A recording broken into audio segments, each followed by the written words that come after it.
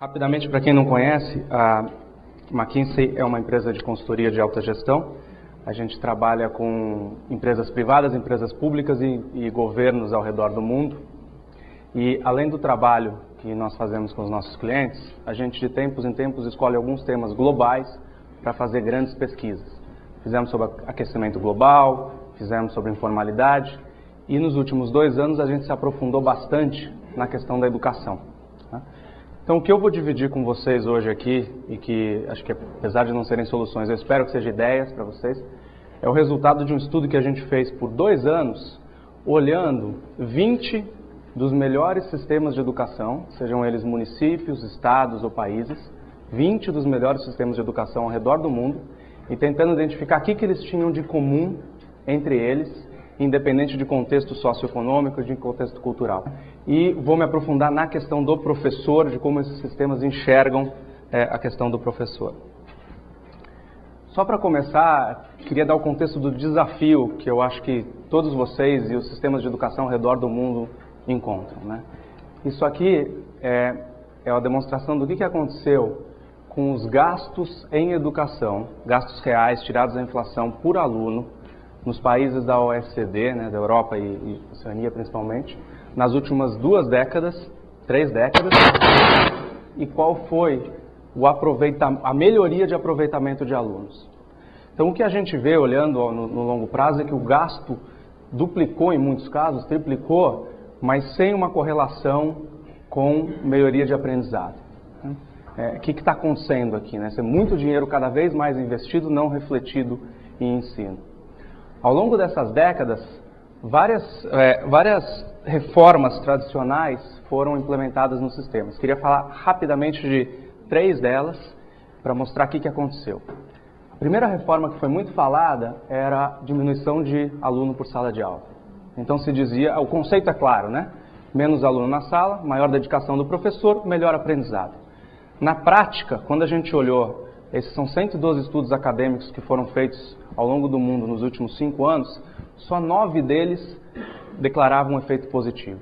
Todos os outros declaravam um efeito neutro ou até inverso. Né? Ou seja, o aprendizado mostra que, a exceção de jardim da infância, a exceção do jardim da infância, diminuir a sala de aula não tem um impacto direto. Por quê? Porque a qualidade do professor que está, ele absolutamente se sobrepõe a isso. Um bom professor com 20 ou com 30 alunos é muito melhor do que um professor médio com 15 alunos. A segunda reforma é muito comum e que já foi bastante falada no painel anterior pelo André, então vou passar muito rápido, é a questão da autonomia. Né? E acho que quem foi mais fundo na questão da autonomia foi os Estados Unidos, com o conceito das escolas charter, né? o conceito de você dar um voucher, de você dar a gestão da escola para um grupo. É óbvio que quando você olha, você encontra boas escolas, encontra boas redes, mas quando você consolida os resultados, e aqui está o resultado consolidado de todas as escolas dos Estados Unidos, e a barra clara são as escolas charter e a azul são as escolas públicas que não foram terceirizadas, é, você vê que elas não, as escolas charter não conseguem entregar um desempenho melhor. Né? Então, de novo, o conceito que já foi falado, que da independência por si só não é suficiente. Né? E o terceiro ponto é, é o ponto do gasto. Né? E aqui eu estou trazendo um exemplo da Escandinávia, dos países da Escandinávia. É, por quê? É, por terem similaridades socio, socioeconômicas e culturais bastante grandes. E a primeira barra é a pontuação deles, a diferença de pontuação deles em relação à média do PISA, que é talvez o principal exame internacional de avaliação de alunos. Né? E a barra da direita é quanto cada um deles gasta por aluno durante um período de seis, dos 6 aos 15 anos do aluno.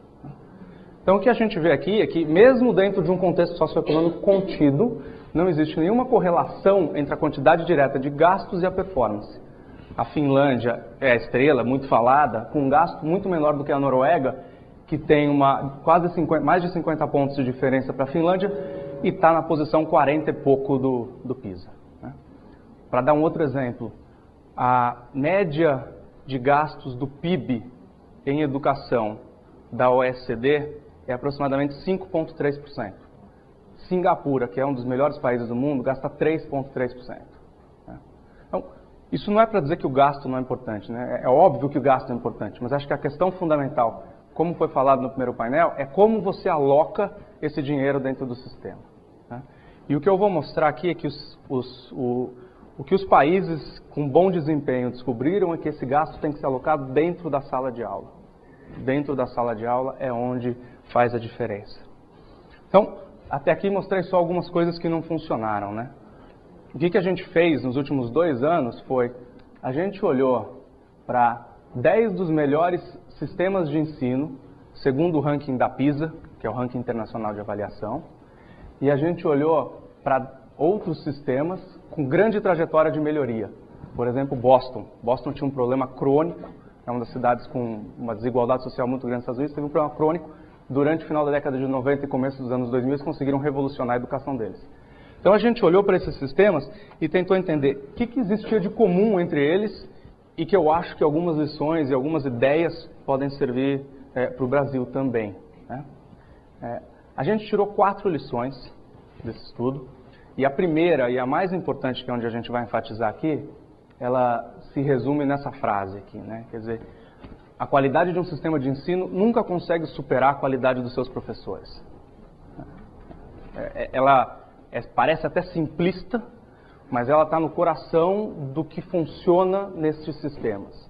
Que a qualidade dos professores e a quantidade de tempo, investimento, recurso que os gestores do sistema colocam, não para valorizar no sentido, vamos bater palmas, no sentido de construir a carreira e construir a capacitação, a cobrança, é o que faz toda a diferença. Vou mostrar um exemplo de um, de um estudo acadêmico feito nos Estados Unidos, dois grupos de alunos, aos oito anos, com o mesmo desempenho em avaliações externas. Um grupo foi colocado durante três anos, e obviamente que não foi de propósito, né, essa análise retroativa, com professores de alto desempenho. Esse grupo moveu para os top 10%. O grupo que depois foi avaliado com professores, partir de avaliações internas ruins, tinha se movido para o quadragésimo percentil automaticamente. Né?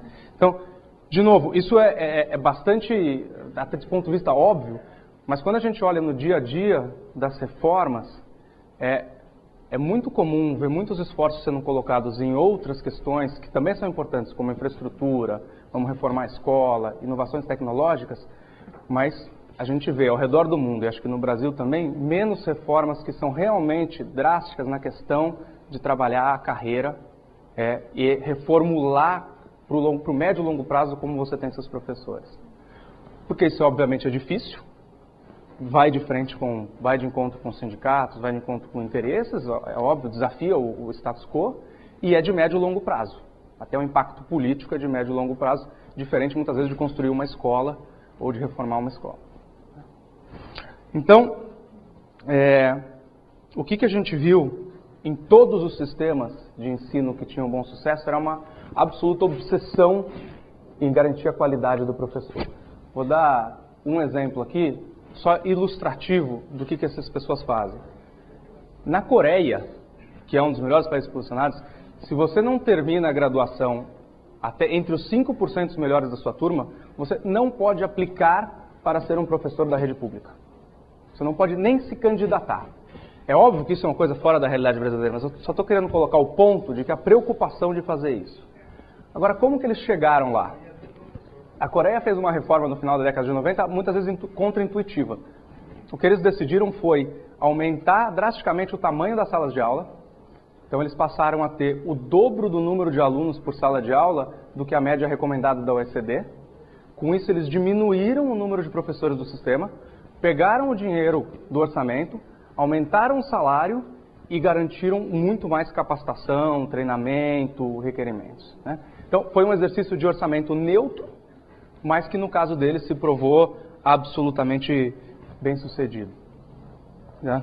É, eu não tenho dúvida que o desafio no Brasil, dado o ponto de partida da carreira, da ausência de professores que a gente tem hoje em algumas matérias, em algumas geografias, é, é, o desafio é muito grande mas acreditamos que existem algumas lições que podem ser, que podem ser incorporadas. Né?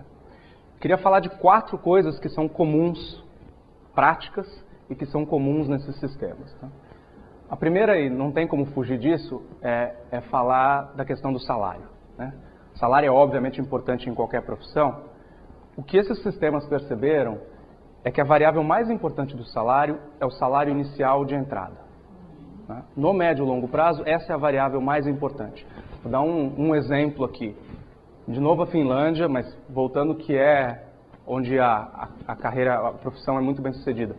O salário inicial deles, que é na mesma linha em termos de percentual do, do PIB per capita do salário da média da OECD, entretanto, o teto salarial é só 18%, 18 acima do piso de entrada. Eles descobriram que com essa estrutura, e para eles esse salário de entrada era competitivo com outras profissões, eles não precisavam aumentar muito o salário ao longo da carreira, porque isso já era suficiente, porque quem entrava no ensino tinha um salário justo, ficava no ensino por outras razões. Né? E, essa, e essa é uma variável bastante comum entre os outros. Agora, aumentar o salário inicial muitas vezes não é fácil, né? E acho que no Brasil talvez seja ainda mais difícil por causa do problema da indexação. Muitas vezes os salários estão por gratificação de tempo. Então você quer fazer uma coisa para melhorar o salário inicial e você acaba onerando todo o sistema porque o dinheiro vai para a folha de aposentados lá na frente. Então o desafio não é fácil, é, mas ele é fundamental. Dois outros exemplos, né? Singapura. Salário inicial é em linha com as outras profissões. 2 mil dólares de Singapura. Também não é nada astronômico bem maior do que o do Brasil, mas para níveis do, do PIB per capita não é astronômico. A Holanda, a Holanda percebendo essa lacuna do salário inicial, entre 90 e 97 eles foram consistentemente aumentando e conseguiram aumentar o salário de entrada em níveis reais, descontada a inflação em nível 40%. Né? É, e, e outros estados e outros países e outras cidades chegam ao ponto de identificar aonde está a carência de professor e dar bônus, luva de entrada, como sou jogador de futebol, para o professor começar a carreira ali. Né? Então é um jeito de trazer a remuneração para frente. Tá? Então esse, esse ponto é absolutamente importante. Agora, e aqui é óbvio que só aumentar o salário dos professores, hipoteticamente entrando no Brasil, aumentando o salário, que seja dobrando, não ia ter impacto provavelmente muito baixo. Né? Se só aumentar o salário e não mudar como o professor atua dentro da sala de aula, não tem impacto nenhum. Então, o segundo ponto comum entre, entre os sistemas é a questão de ter uma carreira muito bem estruturada, e eu vou mostrar aqui o exemplo da Inglaterra como ilustrativo, mas uma carreira muito bem estruturada, com alguns componentes principais. Primeiro, são processos claros, como concursos de entrada ou certificação, muito rígidos no início da carreira. Né? Isso é óbvio que no começo, quando você desafia o status quo, isso gera uma rejeição. Mas no longo prazo, o fato de você poder ser professor, se você passar por uma qualificação, isso traz status para a profissão e garante o nível de qualidade. Esse é o primeiro elemento, que é isso aqui, né? Para você ser professor na Inglaterra, você tem que passar por um processo. O segundo elemento muito comum, que eu vou entrar mais em detalhe dessas carreiras, é um apoio muito grande nos dois primeiros anos de, de, de, de profissão vou falar disso daqui a pouco, é o estágio probatório bem feito. O terceiro elemento comum é você, é você ter promoções por mérito e desempenho e não só por tempo de casa. Né? E aqui, mérito e desempenho está ligado, em muitos casos, ao desempenho do aluno, que é absolutamente fundamental, mas também por avaliações internas bem feitas, sérias, como muitas empresas e a iniciativa privada faz muito forte mas então você ter aqui isso além do tempo de casa. Né? Isso chega ao ponto, e esse último ponto não é, uma, não é unânime entre todos os sistemas, existem alguns da remuneração variável por desempenho, que é uma coisa que a gente tem visto bastante no Brasil, que entra dentro desse contexto. Né? É, uma carreira bem feita, com progressão baseada em mérito, acompanhamento nos primeiros anos, é, ajuda a formar os professores para o futuro. Uma outra coisa, talvez até mais radical que alguns países adotaram, foi esse aqui o exemplo do Canadá, a definição de padrões de, do que é considerado a boa prática para os professores. Né? Para que, que isso existe? Para permitir uma linguagem, principalmente no processo de avaliação. Então, o que, que um bom professor dos anos iniciais que está nos seus dois, três primeiros anos de carreira, o que, que ele faz? O que, que é esperado dele? Né? Isso é óbvio que muitas vezes pode ser visto como uma interferência no meu método de ensinar. mas os sistemas, a maior parte desses sistemas de ensino acharam que isso era importante para começar a criar, padronizar e homogeneizar o desempenho dos professores. O terceiro ponto, né? então, salário inicial, carreira, acho que o terceiro ponto, que foi bastante falado acho, pela Viviane, que nós acreditamos ser absolutamente chave, é a questão do apoio dentro, dentro de sala de aula. Tá? O que é o apoio dentro de sala de aula? Né? Se a gente pega o paralelo com, com um médico, né? o médico a gente nunca imaginaria pegar um aluno recém-formado na faculdade, sem residência, sem nada, sem experiência, pegar e botar ele para fazer uma operação de cérebro sozinho, fechando a porta, vai lá e faz. Ao mesmo tempo, no Brasil, infelizmente, que a gente vê situações que um aluno termina na pedagogia, muitas vezes não preparado como o ideal, entra na rede pública, muitas vezes o que acontece? Vai para a pior escola, para a pior turma, aquela que ninguém quis pegar. Ele vai chegar lá sozinho, vai entrar, vai fechar a porta e vai fazer o que ele acha que é certo. Né? E os estudos, alguns estudos também comprovam que o que os profissionais fazem e desenvolvem nos dois, três primeiros anos da carreira é o que eles vão levar para o resto da vida. Então você criou aí um, um, vício de comportamento que depois é muito difícil ser mudado.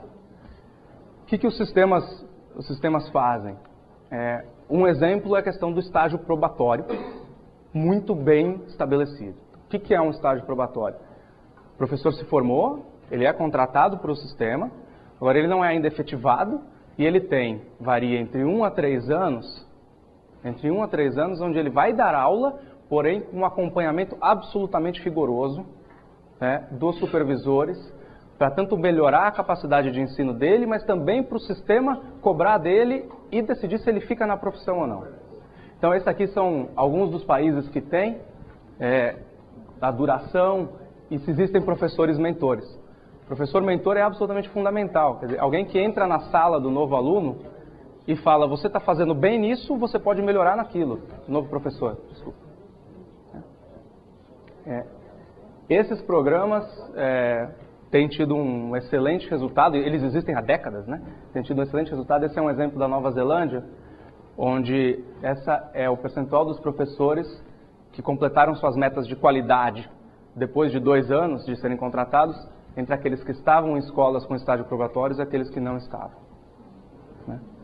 Essa figura, essa figura jurídica, ela existe no Brasil, do estágio probatório para todo o concurso público, mas na maior parte das vezes o que a gente vê ela é utilizado mais como burocracia. Esse é o exemplo do que, que é o estágio probatório na Inglaterra, por exemplo. É. Na Inglaterra, os professores que, que são recém-contratados, eles, eles têm então horas reduzidas de trabalho para poder focar em capacitação, capacitação obrigatória do sistema. Eles não podem dar aula para os alunos difíceis, eles têm mentores oficiais designados que têm que acompanhar eles com uma carga semanal definida dentro da sala de aula para ajudar o planejamento, para ajudar na, no seu desenvolvimento e para fazer suas avaliações. Tem avaliações a cada seis semanas e se no final do período ele não cumpriu com os padrões pré-estabelecidos, aqueles padrões que eu mostrei antes, ele não é efetivado na, na promoção, na profissão.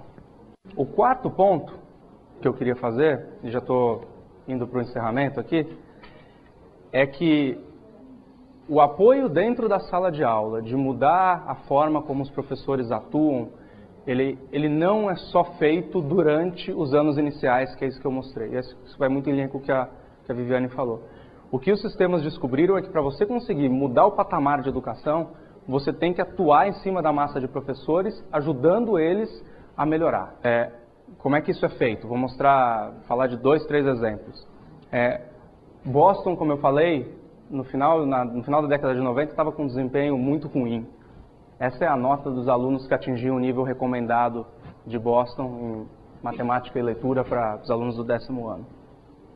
O programa de Boston, uh, o, um dos temas que existiam lá dentro era o seguinte: se não foi aprendido, não importa se foi ensinado.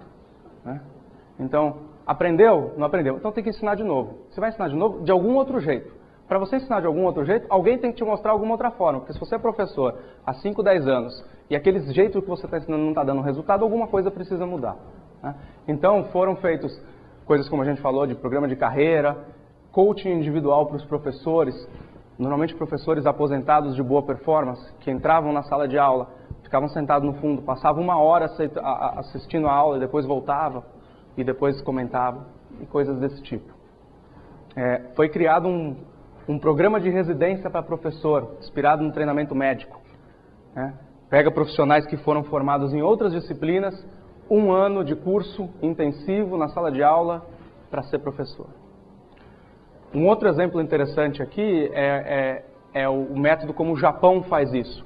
Então, o Japão tem sessões formais, obrigatórias, onde os professores de diferentes escolas são obrigados a se encontrar semanalmente ou mensalmente, e cada um tem que dar uma aula demonstrativa para os seus colegas, para que ele receba feedback se o que ele está fazendo funciona com os alunos, é, e depois ele veja como outras pessoas lidam com a mesma questão. Né? Isso é obrigatório e tem diversos instrumentos de facilitar. Então, é o conceito de fazer os professores se comunicarem e conseguirem aprender jeitos diferentes de trabalhar. Para fechar, é, só contar um, um, pouco do caso da Inglaterra, do que ela fez no final da, da década de 90, também começo do, do, do ano 2000. É, a, no final, em 1997, quando o novo governo assumiu e depois de todo um período é, onde a, profissão professor tinha sido muito desvalorizada e os resultados de educação estavam estagnados, a novo governo fez uma pesquisa e foi para estudantes de segundo grau e botou 100 profissões na frente dele e falou: ranqueia para mim em ordem de atratividade, o que, que você acha mais interessante para você ser. E a profissão de professor veio na posição 95 de 100. O que eles fizeram ao longo dos últimos anos, quando essa mesma pesquisa foi refeita pelo governo em 2005, a profissão estava em quinto lugar. Né?